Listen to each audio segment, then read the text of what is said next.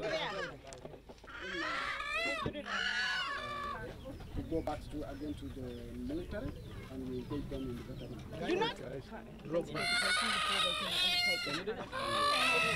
which is containing the vaccines, and we have the vaccine carriers plus the other things.